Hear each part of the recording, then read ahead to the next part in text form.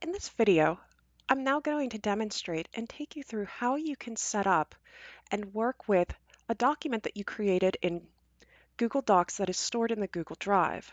So to begin here, what I have here is I have, I'm working in my Drive and for most of my courses I make a folder specifically for the course. Within this, I have subfolders that help me organize as far as things like the syllabus, projects, any content, uh, activities, etc. However, for this demonstration, I have a couple that I'd like to show you. One of which is a project layout, and number two is having a document where I mapped out for students, uh, in this case, how to install WordPress. Now, I'm going to go ahead here, and the learning management system I'm going to use is Blackboard. So inside of Blackboard here, some of the things you will want to do is you are going to want to build content. Now, when you're working with an external document such as a Google Doc here that's stored in your Google Drive, you're going to want to go to Web Link. Now remember, when working with Web Link, if I click on this, you still have the opportunity that you can add a text description here. Normally, what I like to do for my students is under the name, this is completely up to you, but I like to make a note for the students of what type of document will they be opening.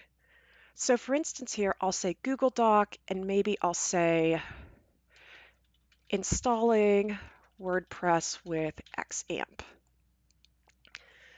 And then under the text, I might have something here. Students should review the following document to learn more about installing WordPress. Now, the final element is the URL here, and that's the part that is important whenever you're working with your document from Google Drive. So let me go ahead and go back here to the WordPress document. You do not want to copy and paste what is up here in your browser bar. Instead, what you want to do is over on the right hand side where your icon is for your account, right next to it is a share button. So I'm going to go ahead and click on the share button and you can see here that it pops up as far as some information about how can you share this document. By default, you could just add specific people if you wanted to. However, because I want to add it to an overall class, and then be able to roll it over into future classes, I want to come down here and get the link. Now, before I actually click on anything, right below here, there is, under anyone on the internet with this link can view, there is a change option. I like to click on this just to double check. What it'll show you is the actual link you will want to copy, but notice Uh, here you have additional options here. So for instance, anyone with the link, it is literally that. They can view as far as the internet is concerned. On the other hand, restricted goes back up to this share with people in group. What you're saying here is that only the people you specifically add to this document can view it. For a classroom setup, we do not want to use restricted. We want to allow our students, any of the students, to be able to view this link. Now, since Blackboard is not publicly accessible via the web, we're able to do this. And the last thing I want to point out is all the way on the right hand side. There are three options here honestly, for most directions, most documentation that you want students to read, you want to leave this on viewer. Commenter is just that. This could be a great option that if you want to have an interactive element as far as having students add to a document or add to a Google slide, they can actually come in and make changes and add their thoughts. Editor, the last one, gives full access.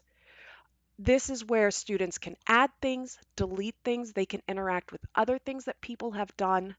And one thing to point out too is I like to use the editor option uh, as far as if a file is too large, for instance, to upload to Blackboard. I'll often make a project folder that students can just drag and drop their projects into. So for this demonstration here, I'm going to use Viewer. This is probably going to be the most common one. So I'm going to go ahead and copy the link. You'll get a pop-up here that says link copied. Coming back to Blackboard, under URL, I'm going to paste with Control V. And then coming down here, it's going to open in a new window. If you want to, the age old, you can track the number of views, set your dates and restrictions, and I'm going to go ahead and submit.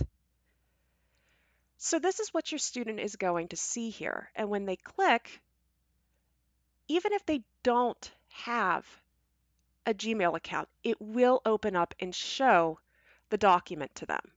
Normally what will happen is you will have a bunch of icons appearing here. The Google likes to make it a little cute like anonymous otter, anonymous uh, bird, anonymous cat. So students can't actually see who else is viewing the project. Likewise, one other way I want to show you is what if you're using a project and you want to be able to just link to your rubric. So coming back under the course modules here, I'll choose assignment. And we'll go ahead and we will call this project one. Now normally what I like to do here is I will add that same information here, Google Doc, rubric for project one here. But what I'm going to do is I highlight it. I like to make it a little bit larger. I'll actually go in and do a bold on it. And then on my menu bar here, I will locate as far as the little chain link to create a link. So now it's asking me again for the URL. I have the text highlighted that I want to use. So once again, I'm going to come back to my Google Doc in my Drive, and I'm going to go ahead and share. I'm going to click on change just to double check, and whoop, you can see this is actually set to editor. I want to change this over to viewer. The permission has been updated, so now I'm ready to copy that link and come back over and go ahead and paste. And for a lot of these, you want to make sure this is an easy spot to skip. You want to make sure you're opening the link in a new window. That way you're not having the student navigate away from the Blackboard site. And then I'll go ahead and save it. And now I can set, you know, a specific due date. I'll just choose that. I can still set, you know, my point values. And I'll say, you know, unlimited attempts, go through all the stuff here and say submit. And now here again, not only do the students still have access to be able to click and come in to upload their project, but now they can click on the project one and now they can see this rubric. Again, the big reason that you would want to do something like this is let's say for this rubric now, let me go back to the original, maybe I realize uh, I need to add something here, maybe like WordPress site for commercial company. Maybe I decide in a future class that I need to make this more descriptive.